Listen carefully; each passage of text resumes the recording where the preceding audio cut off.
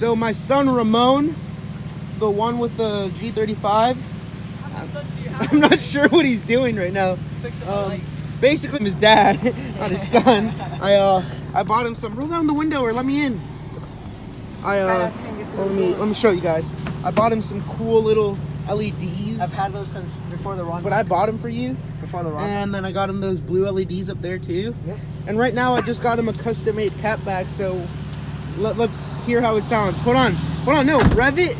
Like I'm gonna stand behind and record your like exhaust, and then rev it. And then after that, do like a flyby. Oh, okay. Yeah, cool. No, fine if you want.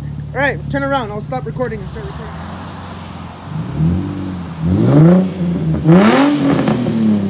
Hold on, do it again. Hold on, let me get in the back though. No.